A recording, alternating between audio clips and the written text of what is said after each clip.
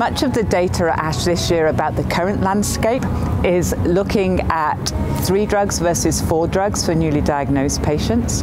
And so there's a nice update on the data looking at the Griffin study, looking at daratumumab in our first and our upfront patients. But there's also some great data from the German group looking at isatuximab in upfront patients and really showing that those patients who achieve MRD negativity in their um, induction phase have a better um, progression-free survival. So we're still very much looking at aiming to get MRD negativity, following that with transplant in the majority of cases, and then following that with maintenance.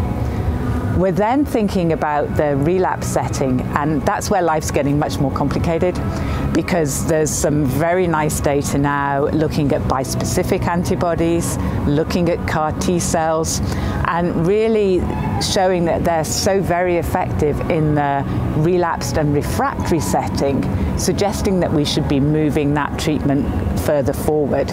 So at the moment, um, we know that we're having a tendency to use three drugs for patients who have relapsed. Um, and this is often a PI, an IMiD, and a um, monoclonal antibody. Um, or potentially moving classes a little bit to something like um, the XPO inhibitors.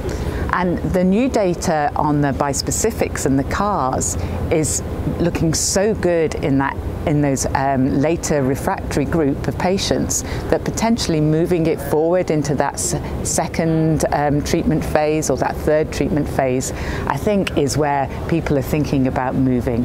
Obviously, some of the discussion is about management of side effects and availability of treatments, and I think that's what um, many people are working on, and certainly the clinical studies are exploring some of those options as we're moving forward.